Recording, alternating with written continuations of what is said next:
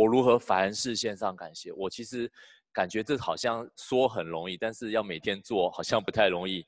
但是我感谢神，在我们生命当中经历的高山低谷，经历了许多困难挑战，我们就发现，真的每一天线上感谢是一件神儿女很感恩的事情。阿门。所以，我们为今天有美好的空气啊，大家可以见面，真的是向神线上感谢。那 我觉得在这个礼拜呢，呃，在我生命当中呢，有发生两件事情，很感恩。那我想要先做个调查，这一个礼拜当中，你有试着做一件小事改变一下，请举手一下。诶，有有有，好，好，谢谢。诶，举举高点好不好？我看一下。好，谢谢，请放下。好，大概一半的弟兄姐妹。那我这礼拜也做一点小小的改变，就是通常礼拜一呢，我是呃，就是安息日，我就礼拜天忙完之后。然后从礼拜天晚上，然后到礼拜一晚上，我就是放慢脚步，刻意的不去做别的事情。然后礼拜一的早上呢，通常我们会有家庭的祭坛，就是我跟师母还有三个孩子，我们一起敬拜神，然后一起聚集的时刻。那通常都是我在前面讲，但是我后来做些改变，我说：“哎，孩子们，你们来前面讲好了，这样我才能够真的 放松休息。”然后呢，一开始呢，他们讲的啊，好像不是很好。但是后来一次一次，我发现他们越讲越好了。然后甚至宣胜他也看我用投影片，他自己也学习用投影片来跟跟我们分享上帝的话。我觉得哇，很棒。然后呢，通常敬拜完聚会完之后呢，我就会啊，再回到我的那个安息的模式，放慢脚步。然后师母就说。哎，你那个信可以帮我去寄一下。我说，呃，因为已经到中午了，我本来想说就预备吃中餐，不想要出去，你知道吗？真的不想要出去，因为天气又热哦。可是师母说这个保险要赶快弄一下，我说好，我觉得好，我就出去帮他寄。我想要改变一下，我说我要跟大家说要改变，我自己 不改变这样怎么行？我就出去，我就带着信的保险保险的那个要准备寄出去。然后回来的时候呢，我就遇到了两个家庭，然后是以前有听过，然后没有机会交谈的，在我们社区附近，然后就跟他们有机会聊一聊天，然后他也很高兴可以认识我，所以我觉得回来的时候我就跟师母分享，然后说哇，感谢上帝，对，好像真的在这当中有美好的心意发生，所以你看，真的是一件小小的事情，有带来意想不到的收获。第二个呢，就是。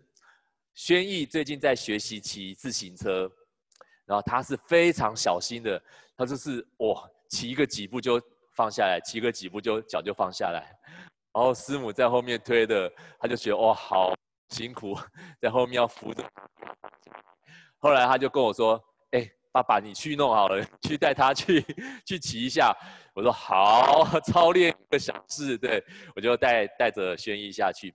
结果你知道他下去之后，他骑骑，然后就开始跟我聊心事。我说：“哦，还有额外的收获，可以听到女儿分享她心里的事，我就很感恩。”对，然后我就在下面跟他共度一个美好的时间。然后上来之后呢，哎跟我的关系变得特别好。然后师母有时候对我比较直接的语气的时候说：“哦，不可以这么凶哦，不可以对爸爸。”我说：“哦，好温暖。”对我相信有操练一个小事情，你们会发现到那个效果会远远超过你们想象的，所以鼓励大家可以这个礼拜继续的来操练一件小事情，那我相信你会发现你可以做的改变很多。好，那今天呢我们要分享人连接要有充电宝。对，出去旅游的会不会带充电宝？会嘛，肯定要带。现在手机对我们实在是太重。我想要请大家思想一个问题哦，就是在你的人生当中，你有没有一个贵人在你的生命当中？有的话，请点个头好吗？他曾经在困难的时候有帮助你，啊，几乎每一个都有。对，在人生当中，我们会有遇见困难的时候。但是你会发现，哎，在这困难当中，好像有一些贵人出现。比如说，跟大家分享这张照片，之前大家可能也有听我讲过，就是在我们多年前我们去瑞典读书的时候，那时候我们申请一间圣经学校，然后申请过了之后才发现我们怀了宣圣，那时候怎么办呢？我们想说还是凭着信心过去吧，对，因为相信上帝有有有带领。然后呢，没有想到在我们去的时候，哇，也是一样找房子好辛苦。我们从飞机下来之前，我们都还不知道住哪里。下来之后才开始跟一个同学找房子，后来找到一间，然后就在那边住下来。结果住没多久，我们就被赶出去了，对不对？住 住到圣诞节最温馨的时候，外面在飘雪，结果我们的心中也在飘雪，因为我们被赶出去了。为什么？那个因为。房东他就进来到我们房间，闻到臭味，然后说：“哎呦，这个是好像冰箱漏出来一个液体。”他就很担心，因为他看到我们怀孕了，所以他不想要担这个责任。他说：“你们赶快搬出去，给你们三天还是一个礼拜，你们赶快搬出去。”所以我们就在外面，呃，有一个呃呃大陆的姐妹就接待我们住在她家，但是我们下学期还是一定要找到一个地方，不可能就是在外面游荡。所以我们在那个姐妹家住了之后，我们也有在学生宿舍单人房住过。然后后来呢，这个情况就是圣经学校知道，所以他们就发起祷告，为我们啊这个过程找到房子。然后呢，有一天中午，我记得印象非常深刻，就是这这一对对，然后我们去他家吃饭，他说。我们小组为你们祷告很久，然后一直想为你们找到一个好的地方可以住。然后，但是有一天，好像上帝就对我们的心说话：“那你们自己愿不愿意接待他们来呢？”然后，当我们听到之后，我们都很感动。我记得师母那天就是一直流泪，一直流泪。然后我们去的时候，然后我们就发现，这真的是跟我们祷告的是，真的是非常吻合。因为我们在那时候。就是孤身在外面，我不知道怎么做爸爸，然后所以我就祷告说可以有一个榜样让我学习。然后父母他很喜欢做小点心嘛，所以他说希望妈妈可以很会做饭，然后他可以旁边看人家怎么做瑞典美食。其父亲他跟我在台湾看到的一些父亲不太一样，他是小孩子回到家之后说出去玩出去玩，然后就在外面的窗口看看他们在那个游乐场玩。然后回来做功课，睡觉前然后陪他们玩桌游，玩完之后然后陪伴他们，然后睡觉，然后上床。哦，给我一个很好的榜样，一个很好父亲的榜样，就是跟他们的孩子关系很好，甚至他们的女儿也在他们前面还跳舞，然后唱歌，然后爸爸在旁边拍手拍手，我就学到好多好多。我就问他说：“哎，为什么你让孩子一下下学下课就去游乐场？”他说他们在那边可以学习人际关系，然后怎么样解决冲突、解决问题。他说很好。我说哦，我就学习。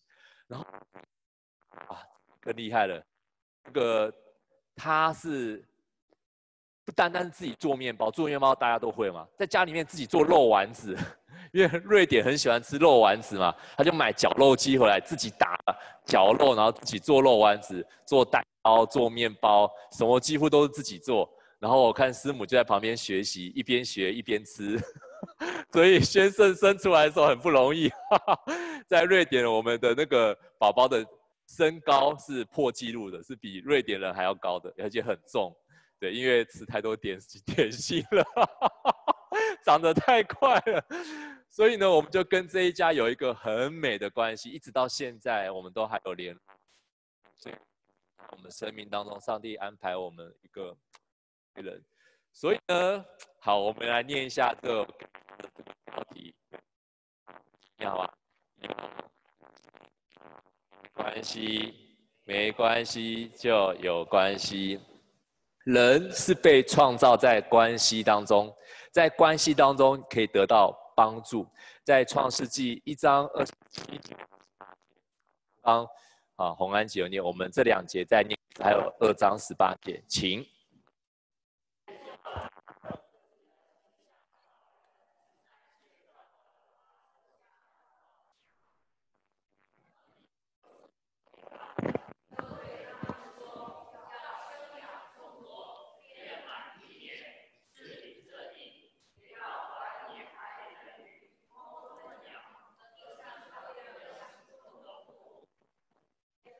上帝说，那人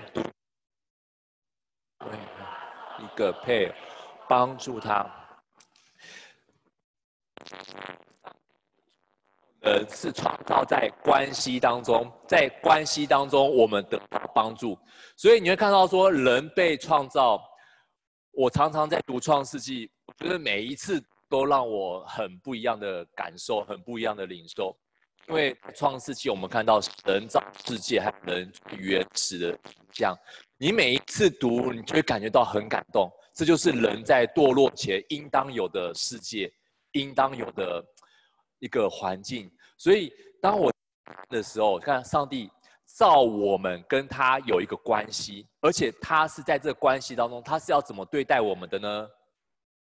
赐福我们，他在关系当中要怎样赐福我们？他不是说人做你们自己自生自灭啊，你们自己做，不是，他是要来赐福我们，然后要去管理，而且他也我们在人和人的关系，他说那人独居不好。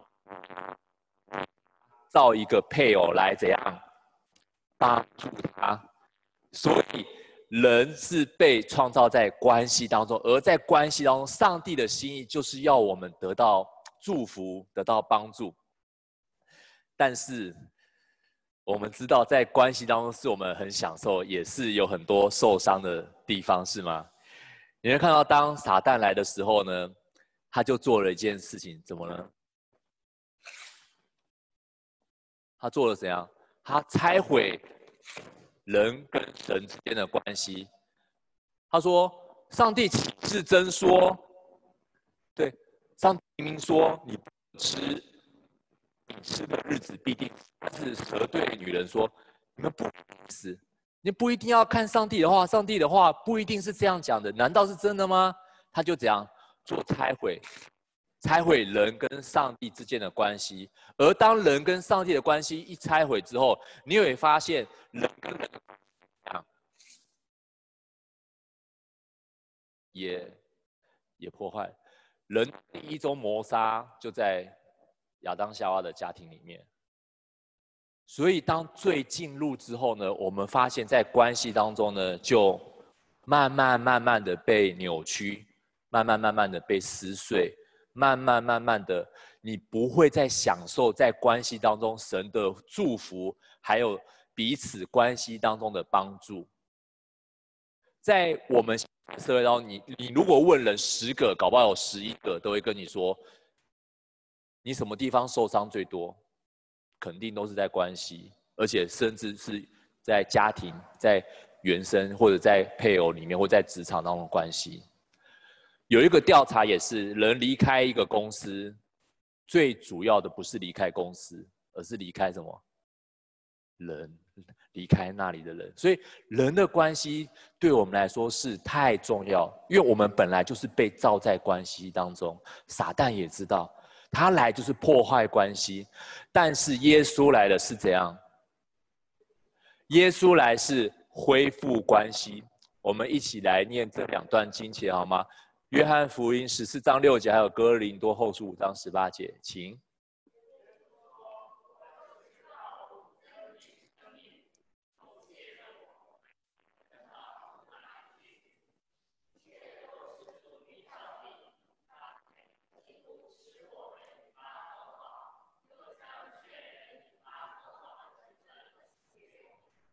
阿门。所以耶稣说：“我就是路，你生命。若我没有人能到父那里去，然后呢，一切在哥林多后书，一切都是出于上帝。他借着基督使我们与他与天父和好，又将劝人与他和好的职分赐给我们。所以，当耶稣基督来，他做了一件事情是什么？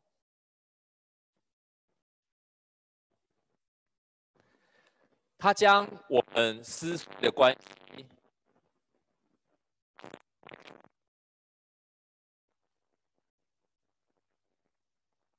我们跟一恢复，他也讲，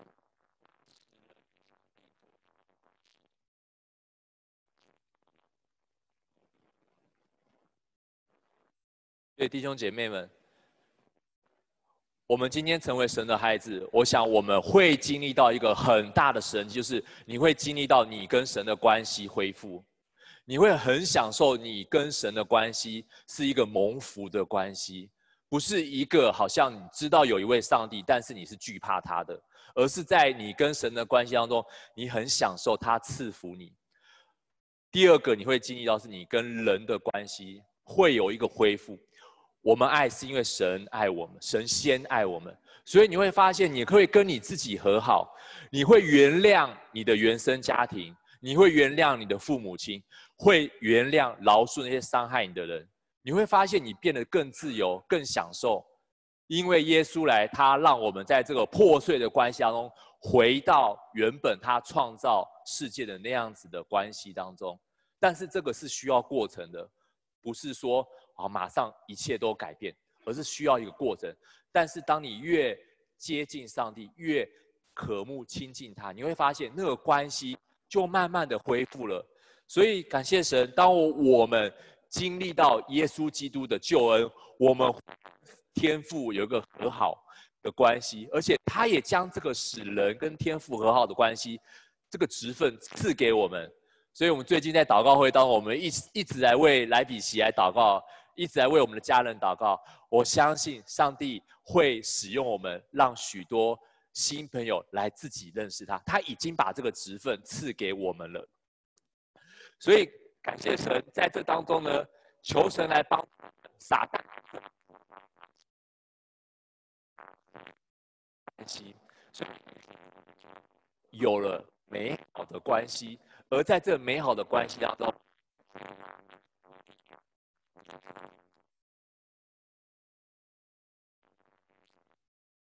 我们与神恢复的关系，你会发现他是我们力量的源头。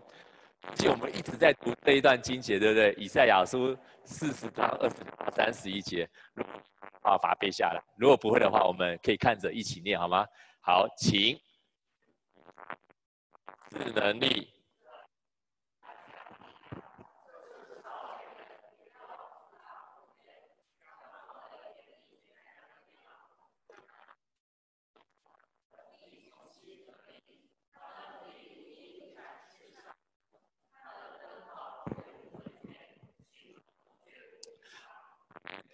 这边讲到说，当我们等候耶和华，并重新得力，他是我们，而这个等候呢，我们之前有讲过，他不单单花时间等候他、经历他，而是将你的盼望放在他的身上。你不是将盼望放在人或者事情上面，而是你将盼望放在他的身上。因为这世界我们知道很多的事情是我们不能够控制的，有的时候甚至会让你失望。但是你将盼望放在上帝那边，你总不会失望。你会有一个很……最近学一个德文，讲 “überraschen”，会有个惊奇、惊喜在我们的当中。为什么呢？上帝要我们等候他，但他其实也在怎样？是也在怎样？等候我们。我们来念。当十八节，请等候。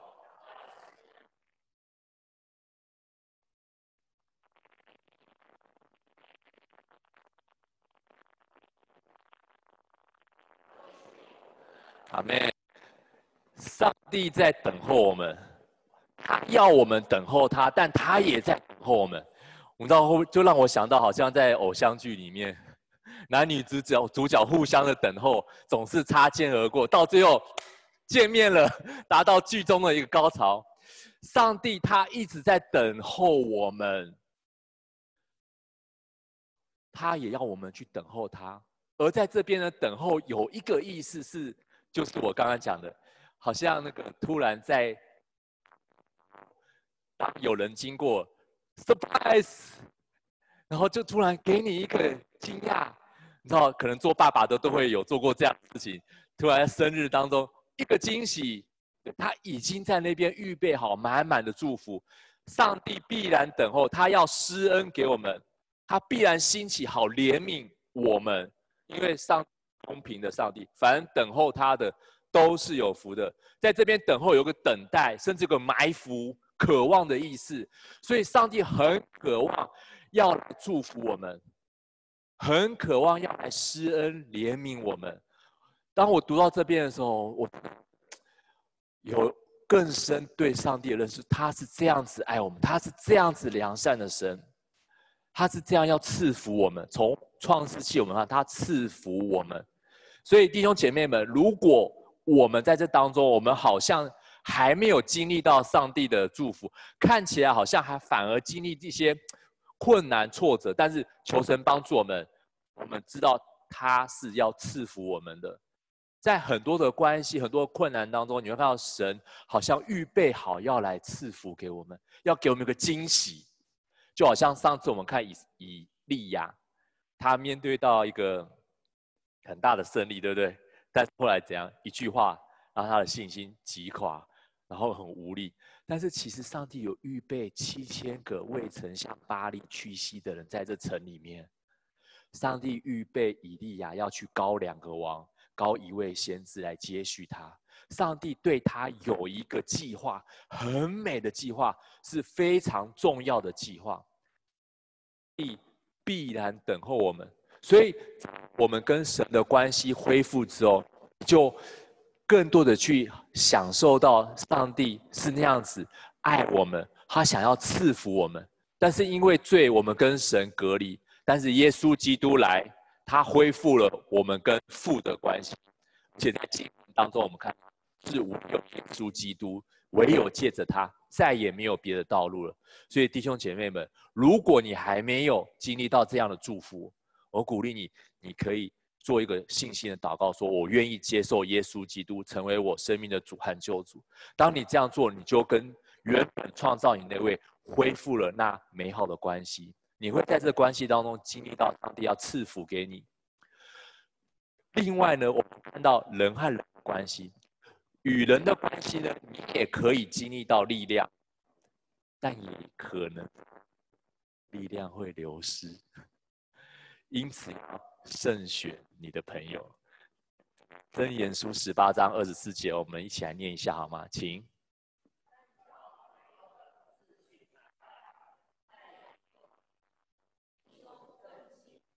们与人的关系会给你，也有让你。你的朋友，我这边不是说好，我现在开始重新的哇，都不跟外面接触，然后都不跟外面人打招呼，我只要顾好我的几个密友就好，不是这个意思，而是在这边上帝啊教我们一个智慧，你亲密的人会影响你，所以要慎选你的朋友。呃，家中如果有孩子的，我觉得这也是一个很好教他们。怎么样去选择你一个亲密的朋友？不是说每一个朋友我都把他当成是我非常亲密的，跟他分享一切我生命中的大小事，不是这样子。要慎选你亲近的朋友。我要这个跟大家问一下，你们有没有学过热力传导呢？有学过物理吗？有有的有点头，有的没。那如果有点头，就容许我在这边这个这个卖弄一下下。热的传导呢，主要有这样，有三个途径。第一个是什么呢？就是直接接触嘛，传导，对不对？你碰到热的东西，我就感觉到热。第二个传导是什么呢？对流，对，然后这个锅子里面的水慢慢的沸腾，有没有？会对流，这个介质的流动会让热传递出去。第三个传导是什么呢？辐射。像太阳离地地球很远嘛，中间也没有空气，对，但是就透过这个辐射，将热可以传递到我们身上。我为什么要讲这个呢？因为我们跟人的关系也是这样，你靠近谁，有一句成语叫什么？近朱者赤，近墨者黑。我们可以跟每一个人都保持很好的关系，甚至在这个关系当中，上帝可以使用我们，让人跟天父和好，因为他将这个职分赐给我们。所以呢，我们可以跟很多人成为很好的的朋友。但是亲近的朋友，你就要慎选，因为他会影响你。就好像这两个杯子，如果一个冷，一个它靠在一起的时候，那个冷的杯子会怎么样？会慢慢变热，因为有怎样？有热的传导，会传导到它的上面，它会慢慢的变热。对，所以呢，在这当中求神来帮助我们。在圣经里面，我们也看到我们要怎么样去选择亲近的密友呢？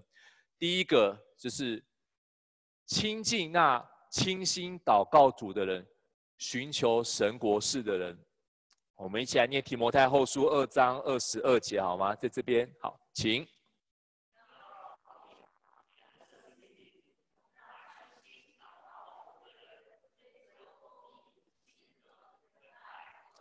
阿妹，所以当保罗跟提摩太他已经要服侍了，然后他要鼓你要知道你身旁有谁，跟大家分享一件我自己在我的枕边人看到的。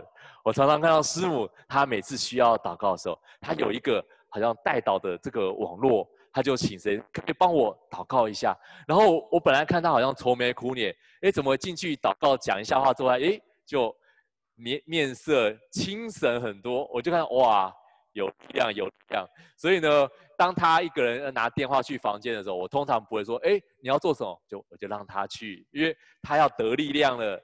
所以他旁边有一些。能够跟他一起祷告的人，然后也有一些姐妹，她需要的时候，她会跟师母一起来祷告。我觉得这个很棒。我觉得对弟兄来说，我们反而要多一点学习，因为我们比较震惊，我们比较不太容易敞开。但是我们一旦敞开，我们就掏心掏肺的，是吗？我觉得这个姐妹呢，好像比较容易可以找到人说，哎，聊聊，然后就哎一起祷告。所以这个对我自己也是要更多的学习，怎么样？去亲近那些清新祷告组的人，然后一起追的事情，呃，是要远远的关系。提摩后书三，请。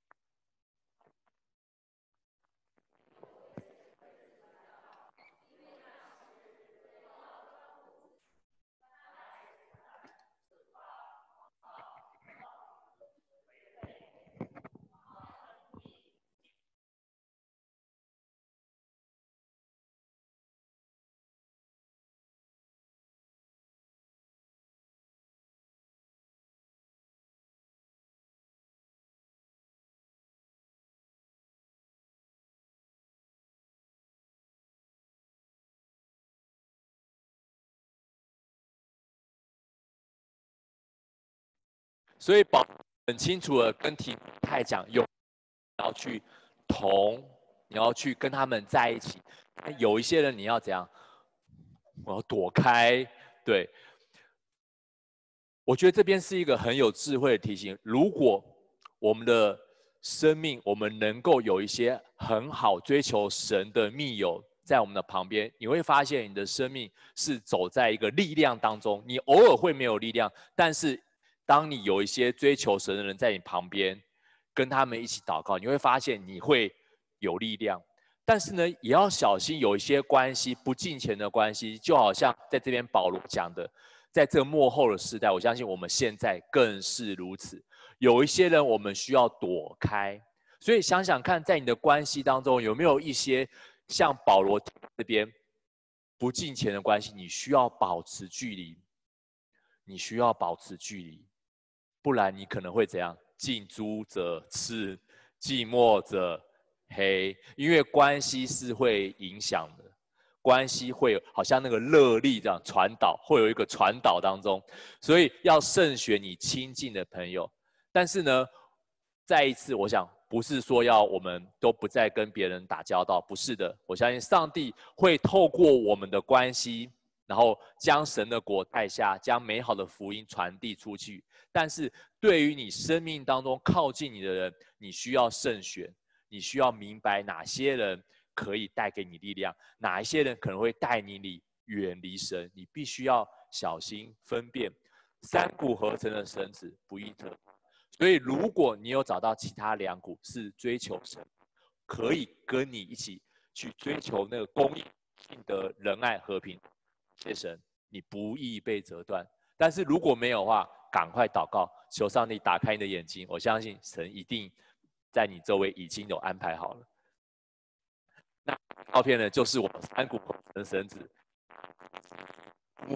对，大家知道之前有来过，我可以很敞开我的心，跟他分享我一切我需要帮忙、我需要带导的事情。他就好像是我的属灵父亲一样，我可以跟他分享。那这一位呢，是我的属灵兄弟，他也是我的学长杨牧师。那我们三位牧师在一起呢，我们常常会一起做一些好玩的事情，一起运动，或者去分享，一起爬山，或者说一起去踢球。然后我们的家人，我们三位是很好的关系，所以我在这美好的关系当中，我经历到上帝在关系当中是可以让我们得力量的。上帝在关系当中是让我们可以蒙福的。你好像仿佛回到那伊甸园的当中，看到神在人的关系当中会赐福给我们，会让我们在关系当中互相的祝福蒙福。所以最后呢，我要跟各位说。我们一起找吧，找到你身旁的充电宝，也要成为充电宝，带给人力量。对，阿门，感谢神，找到你身旁的充电宝是谁？对，然后要成为充电宝，给的力量。啊，艺术这爱是因为爱我们，总是我们力量的源头，那个电力源源不绝的源头是从天上而来的。感谢神，他成为我们最大的力量的源头。在当中呢，需要有三种，在人和人的关系上，我发现这三种人，如果你有的话，会让你的生命很平衡、很健康。那其实这是一篇讲道，但我就很快的讲一下，想够成全你的人，他就是无条件的对你好，你也说不出来为什么，但是你在他旁边，你就感觉到很安全。所以这有可能是，呃，属灵的父亲、母亲、哥哥、姐姐，或者是你的啊小组长，或者是你的牧师，都有可能在你的周围。你在他的旁边，你就会感觉到一种温暖；你在他的旁边，你就会感到一种力量。他也可以对你的生命来说话。如果有这样的人在你的旁边，你要珍惜，你要感谢神。把这样的人放在我的旁边，感谢上帝，在我生命当中有这样子的人在我的旁边，所以我有更多的精力，我可以站在他们的肩膀上面，看得更高，看得更远，是互相陪伴、接纳的人。这好像属灵的伙伴，可能就在你的小组当中，诶，想踢球就想找他，或者是想做逛街就想要找他，然后有什么事情难过了，他就听你倾诉。他就在你的边上陪伴你的。如果有这样子的人，我也要恭喜你，这是一个很棒的事情。因为上帝不要我们一个人走，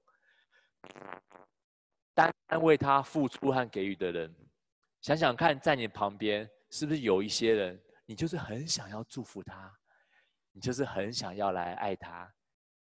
不知道有没有？但是我鼓励你，可以去找到你身旁，就是想要给他祝福，不求回报。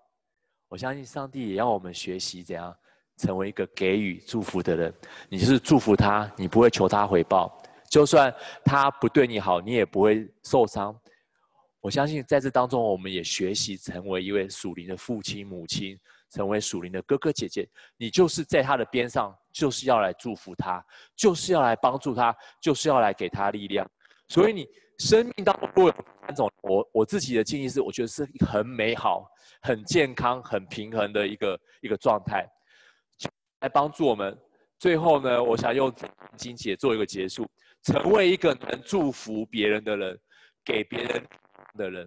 我们一起来读箴言十一章的二十五节，好吗？请，好施舍的必得丰裕，滋润人的必得滋润。我们再一次，好施舍的必得丰裕，滋润人的。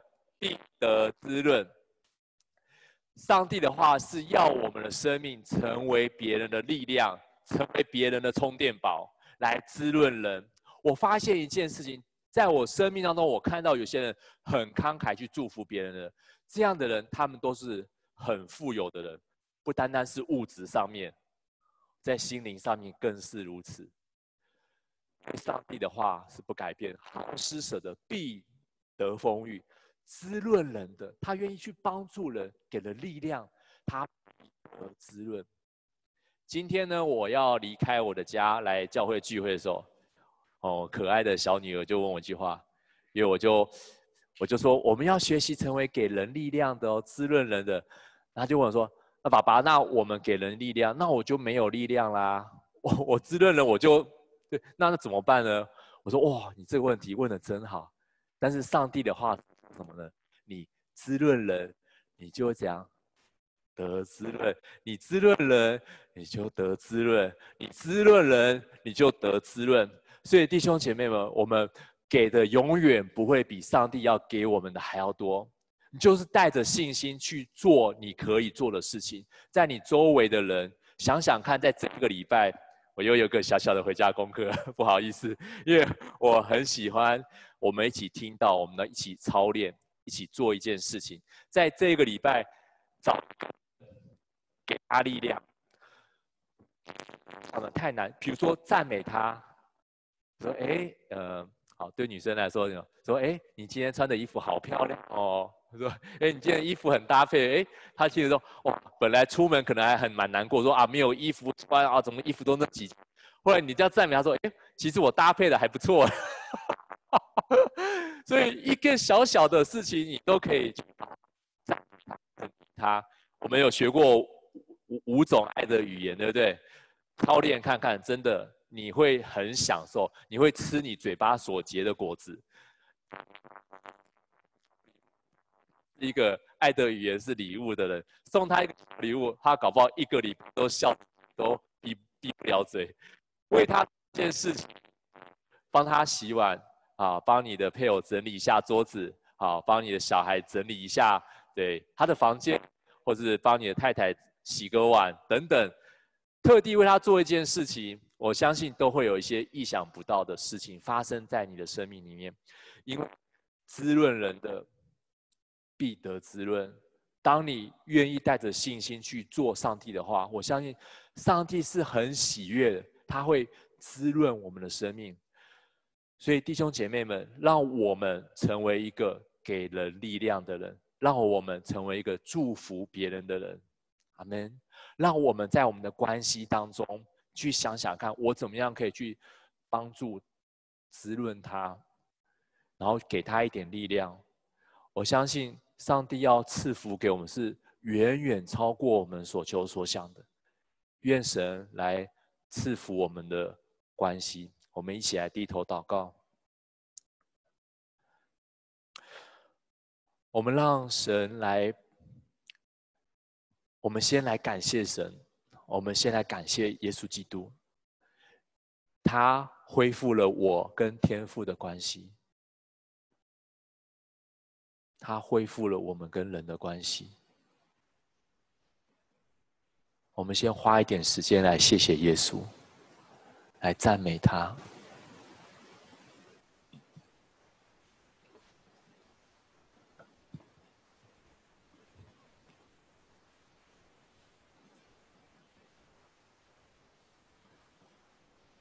我们也求圣灵来帮助我们。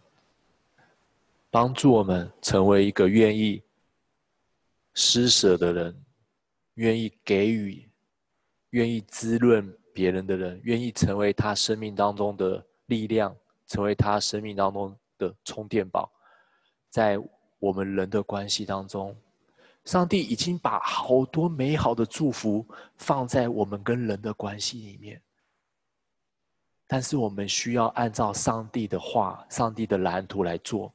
当你按照上帝蓝图去做，也许他从来没有对你讲过什么赞美的话，但是你决定你要对他，也许就是今天这个礼拜，你要对他说一句赞美的话，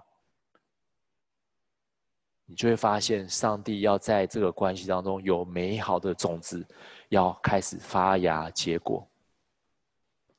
好不好？在这个安静的时刻，我们一起求圣灵来搜寻我们的心，想想看，在你身旁的关系有没有哪几个关系，好像神今天提醒你，你可以成为那给力量还有滋润。